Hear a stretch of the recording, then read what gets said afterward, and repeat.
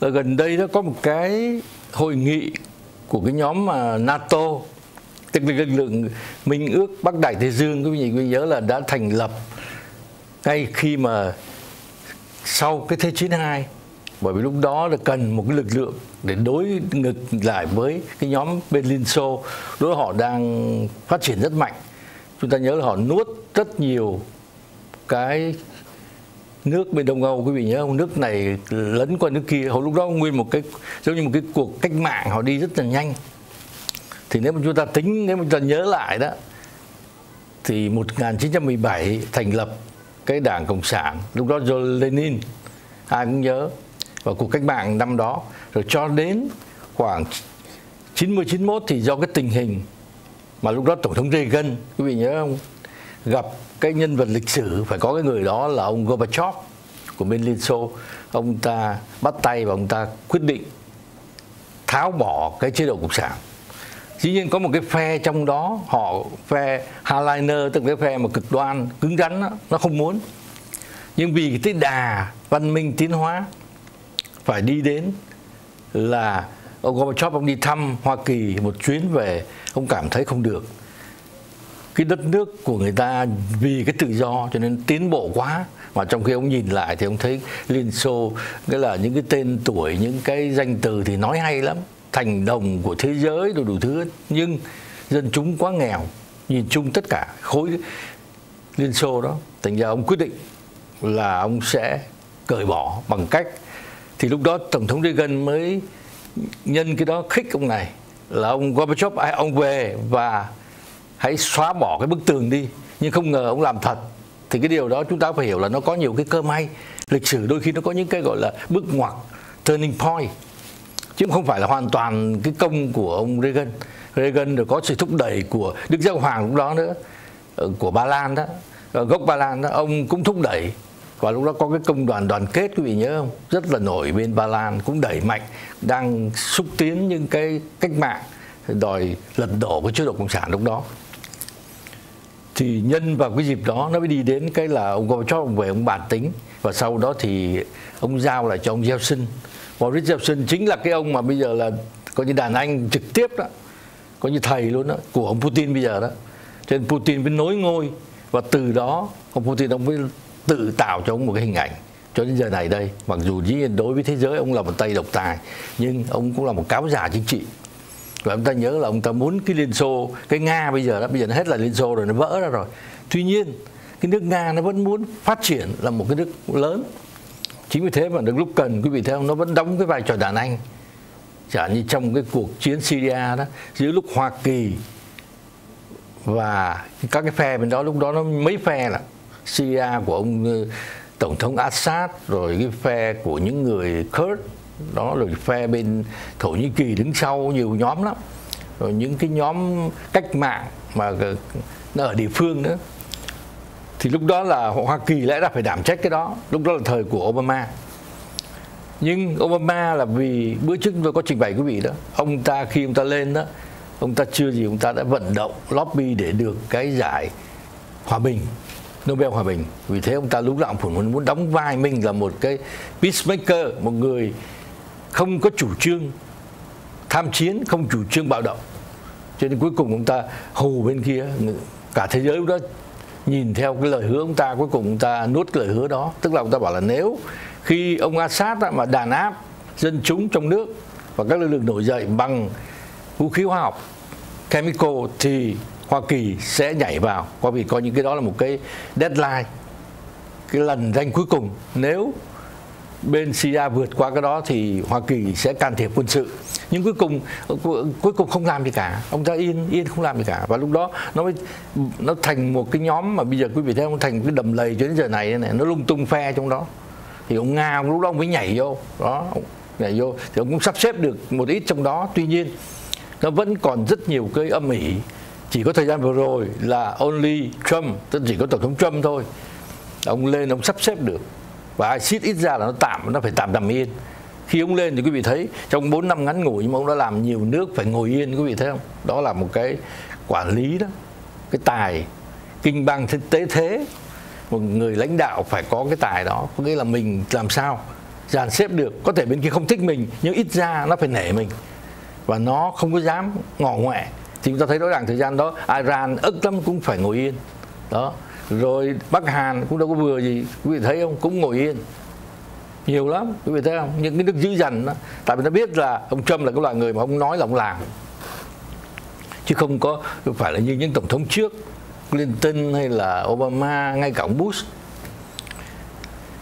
Vì nếu mà quý vị còn nhớ thì cái khi mà tháng riêng ông Trump lên ngôi đó, sau đó khoảng tháng 4 tháng 5 tôi nhớ là ông mời ông tập qua bên Malago Florida thì dĩ nhiên là tổng thống Trump rất là friendly, ông rất thân mật với mọi người người nào cũng my friend với nhưng khi cần là vẫn dùng, sử dụng bạo lực, sử dụng quả đấm mạnh, quả đấm sắt chứ không có thể mà nương.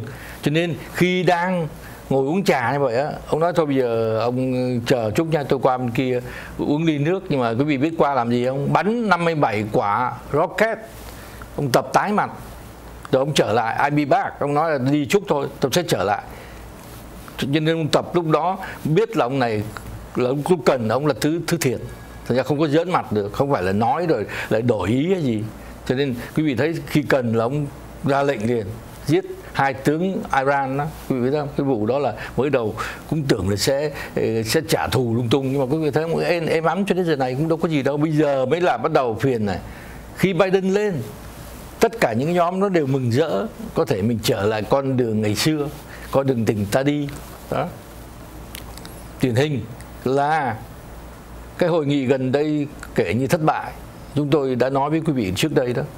Cái hội nghị cấp cao mà do ngoại trưởng Hoa Kỳ và phía bên kia đối tác bên kia là Vương Nghị Dương Khiết Trì mời mình mời nó qua đây mà nó ở nhà mình mà nó lên mặt nó bài bác nó chửi rủa mình. Đó là cái đó là cái cái cái sai lầm của cái chính quyền Biden đã yếu, khiếp nhược như vậy. Đặc biệt ông Blinken đã nói trên nguyên tắc mỗi bên chỉ phát biểu chừng 2 phút, nhưng ông ta đã để cho bên kia nói hơn 15 phút. Tức là nó coi thường mình, mời nó đến mà mình lấy là tiếp vào phòng khách thôi. Mình lại dắt nó vào hẳn trong phòng ngủ, tức là lên hẳn Alaska, là một cái tiểu bang mà có nhiều vũ khí bí mật nguyên tử của Hoa Kỳ không muốn thế giới biết. Nhưng không hiểu tại sao ông Biden, ông quyết định hay là bên kia nó ép, o ép, nó biết là cái thế. Bây giờ quý vị cũng hiểu là mình hơn một nửa nước là nó mua rồi. Vì cái tiền chứ có gì đó. Ta nói là cái trung cộng nó chỉ có cái mạnh là vì thời gian suốt thời gian vừa rồi đó, nó quá nhiều tiền, nó cho Hoa Kỳ, cho tất cả thế giới vay. Thế lực mềm, quý vị nhớ không? Nhất là những ít nghèo đi con đường giống nhau hết. Con đường tơ lụa, rồi mạch một vành đai một con đường. Đừng bao giờ quên những cái chính sách của họ. Họ sẽ đi liên tục, không bao giờ ngưng hết có những lúc khó khăn thì họ khựng lại chút thôi. Khi có dịp là họ lại tiếp tục. Điển hình là thấy ông châu nó mua gần hết rồi nhất là ý. Ý là cái nước nặng nhất. Rồi ý rồi thì đức đâu có dám. Mà Merkel cũng phải nghe lời đâm rắp rồi Macron pháp đó rồi ngay cả anh. Anh lúc đầu cũng uh, Brexit xong đó thách rời khỏi Liên Âu thì lẽ ra ông tưởng là nếu tổng Trump ngồi tiếp thì ông Johnson đó có vẻ rất hợp với ông Trump và hai người sẽ thành đối tác đó. Nhưng tự nhiên bất ngờ tổng Trump bị cái cuộc bầu cử vừa rồi với nhiều cái ma mánh nhiều cái ma thuật trong đó. Cho nên không có, mặc dù đã bao nhiêu những cái khiếu nại, nhưng tất cả tố cáo pháp viện, chúng tôi mới nói thời gian rồi họ hoàn toàn không làm việc. Họ bị bên kia nắm hết rồi. Thành cái thế lực đồng tiền, quý vị biết không? Cho nên bây giờ cái khó lắm. Ra nếu ta nhìn lại thì từ cái thời Biden làm phó tổng thống đã bay qua bay lại bên ông tập nhiều lần. Cho nên nhiều lần chúng ta nhớ là ông phát biểu rất tốt trong tập, cũng nói là ông tập là một người bạn bạn tốt, một người đối tác thôi. Ông không dùng cái chữ đối thủ. Tức là không phải enemy, không phải kẻ thù. Trong khi đối với chính quyền Trump là đã, chúng ta đã nói rõ Trung Quốc là kẻ thù số 1 của Hoa Kỳ và lúc nào cũng phải gườm phải cẩn trọng, bởi vì không biết lúc nào nó sẽ lấn chiếm, có dịp là nó làm đủ trò, quý vị cũng thấy đó. Cho nên kỳ vừa rồi đó thì có một dĩ nhiên một số truyền thông mà binh vực Biden thì họ nói là một cái tiếng nói mạnh để mà Hoa Kỳ trở lại. Nhưng mà thực ra chúng ta thấy là không có phải tiếng nói gì cả, chỉ nói trên cái diễn đàn NATO. Mà NATO thì nãy chúng tôi vừa nói đó, gồm 29 nước Âu Châu thành lập từ năm 49 tuy nhiên, cái tổ chức này nó cũng đứng cho có thôi. Coi như là cái có vì vì thì coi như đề phòng, nó sợ liên xô, nó nó lấn chiếm một cái nước nào bên âu châu thôi. Nhưng mà thực ra trong bao nhiêu năm quý vị cũng thấy không? Đóng tiền thì hoa kỳ lúc nào cũng phải nặng nhất. Khi tổng thống trump lên là ông nhìn thấy những cái vô lý đó ông ấy muốn tất cả mọi thứ phải công bình. Hoa kỳ cũng đóng góp rất là lớn, giúp các anh về an ninh, nếu có chuyện gì, trong khi mấy anh lại không đóng góp trên cái danh nghĩa đó là phải hai phần trăm của GDP nhưng mà nhiều nước lờ đi và không đóng. Thành ra không được. Ông Trump lên chỉ muốn đưa lại cái công bình thôi. Thì bây giờ ờ, cái hội nghị này nói chung á, Biden muốn chứng tỏ với thế giới và với các cái nước chung quanh là Hoa Kỳ là cái chính sách của ông Biden là cứng rắn với Trung Quốc nhưng chúng ta phải hiểu đôi khi đó chỉ là cái vở kịch thôi bởi vì đã lấn quá sâu rồi rất là khó. Quý vị nhớ là rất nhiều những tay đại tư bản Hoa Kỳ cái thành phần hai ba phần trăm ở trên đỉnh đó nó nắm hết tất cả cái của cải của Hoa Kỳ đó. Còn cái phần còn lại ví dụ như là 98 phần trăm cái số tài sản nếu mà tính là Hoa Kỳ 100 phần trăm thì cái, những cái người đó, đó người ta nắm hết chia hết gần như 95 hay là 98 phần trăm chỉ còn cái phần nhỏ xíu còn lại cho những cái dân nghèo thôi. Thì những người đó họ đã bắt tay với nhau trong thế lực ngầm tôi nói hoài đó. Và họ bây giờ muốn đưa ra cái new world order, một cái thế lực mới, một cái trật tự mới cho thế giới, cho những tay lão luyện, những tay tay tổ, vừa nắm về kinh tế nó vừa nắm về tất cả mọi thứ. Quân sự cũng nắm trong tay nó, bởi vì chúng ta nên nhớ trước đây quân đội là phải độc lập không có theo đảng nào, nhưng bây giờ nó bị bị bóp méo hết rồi. Lẽ ra quân đội là phải không có đảng phái bởi vì quân đội thường là lên tuyên thệ là trung thành với hiến pháp Hoa Kỳ, chứ không có trung thành với đảng nào hết, mà không có trung thành với tổng thống nào hết. Tổng thống rồi cứ qua đi thôi. Cái nước Hoa Kỳ này, nó quan trọng, nó còn ở lại hoài với chúng ta. Còn người dân Hoa Kỳ họ cứ cho mỗi chính quyền khá công bằng, tức là cứ hai nhiệm kỳ, sau đó là người ta sẽ ao quý vị ao. Cho nên rất hy vọng đó là cái đường hướng của đảng cộng hòa bây giờ đang nhắm tới bữa trước phỏng vấn. Chúng tôi thấy ngay cả ông Pompeo cựu ngoại trưởng đó, ông cũng nói cái ý đó. Tức là bây giờ ham ham ham hai này này phải làm sao cố gắng lấy lại cái ít nhất là cái hạ viện hoặc thượng viện. Rồi từ từ có thể 24 đó, thì lúc đó nếu mà 22 có vẻ tiến triển khá thí dụ như là đảng cộng hòa nắm lại đa số của cái hạ viện thì có thể lúc đó ông bê trên cái đó đó ông Trump mới quyết định là có ra 24 hay không? Chứ còn chúng ta cũng hiểu là bây giờ ông ta cũng còn uh, thơ thẩn lắm chưa có dám quyết định đâu chưa dám quyết định cái gì. Và chúng ta nên nhớ bây giờ ông ta đang làm cái vai trò cố vấn. Chứ bây giờ ông ta quá rảnh rang quý vị nên nhớ ông Pen thôi mà bây giờ cũng đang đã có những cái hợp đồng mấy triệu rồi để mà viết mấy chục triệu để viết hồi ký. Thì chúng ta nhớ là ông Trump mà viết thì biết bao nhiêu tiền nhưng ông ta chưa thèm viết và chúng ta nên nhớ vào cái báo cáo mới nhất của tạp chí Forbes là một cái tạp chí chuyên nêu những người giàu nhất thế giới, tỷ phú đó. Thì tổng thống Trump bây giờ còn có 2 tỷ mấy à. có nghĩa là khi ông ta lên làm việc cho đất nước đó, ông ta đã mất đi gần một nửa, mất đi cả gần 2 tỷ quý vị.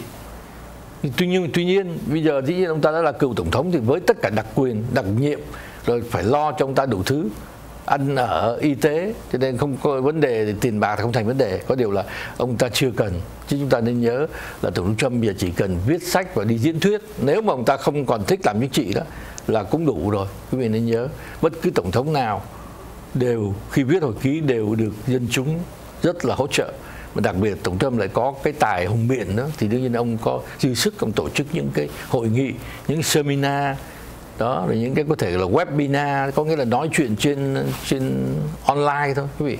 Thí dụ vậy những cái hội thảo.